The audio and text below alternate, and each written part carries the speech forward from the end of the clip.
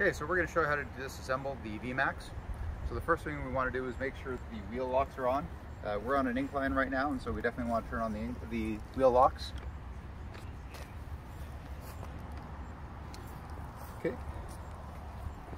Now we also want to make sure we turn the unit off. Pressing and holding that button there, and it'll turn off. And we disassemble the power source.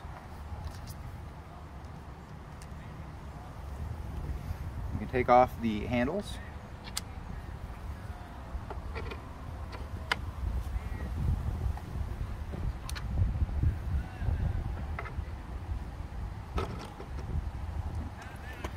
And this stuff's going to be important is you have to pinch in the gears.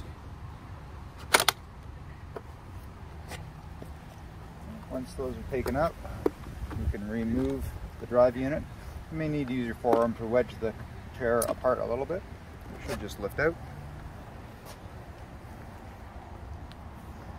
After that, we can remove the anti-tilt, pull the knob, and it should just drop out.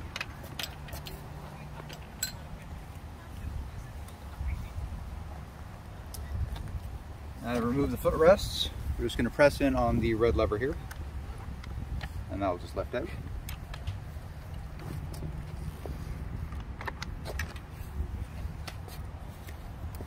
And then we're going to finally remove the battery. So we just pull out the power cord.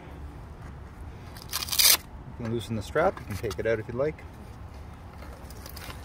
And lift up and out.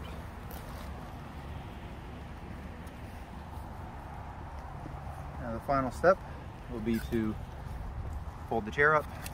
And you can do that by lifting up on the seat. You're going to see the, fold, of the chair collapsing. I'm going to take off the wheel brakes.